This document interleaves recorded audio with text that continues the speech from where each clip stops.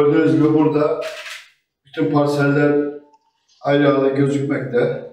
Şunlar yollarımız. Toplamda 4500 metre yolumuz var. 10, 15, 20 metre genişliklerimizde. Şu ana yolumuz bu şekilde devam ediyor. iki taraftan. Bu e, Ünye tarafından girişimiz Sıvamatik'te. Daha sonra bütün parsellerin etrafını çevirecek şekilde yollarımız mevcut. Ee, bu projenin kapsamında içme suyu, yağmur suyu, kanalizasyon, yol ve e, 1000 metreküp bir adet de şurada depomuz var. Bunlar yapılacak. Ee, süremiz iki sene, biz bir buçuk sene içerisinde bitirmeyi hedefliyoruz. Bir metre falan dolgusu tamamlandı.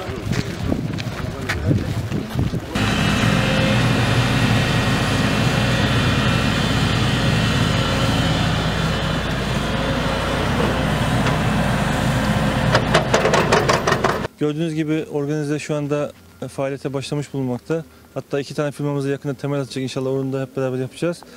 İşte hani organizede iş, yol- işler yolunda gitmiyor, sıkıntı var diyenler buna görebilir.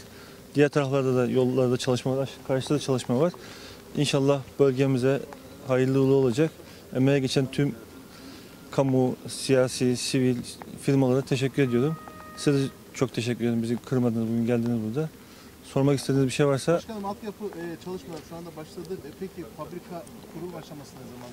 Şimdi mesela şu yan ileride görebiliriz. NBS başlayacak akşama sabah altyapı çalışmasını yapıyor. Bu yolla ilgili problem var değil mi Kadir Bey? Şu anda o zaman Karşı tarafta- fabrikanın orada çalışıyor. Karşı tarafta Uslu Fındık da e, proje aşamasında onlar da zaten ruhsatlarını aldılar. TKDK'den destek bekliyorlar. Yani yavaş yavaş in- insanlar da işlerine başlamak başlayabiliyor şu anda fabrikalar kurulabiliyor.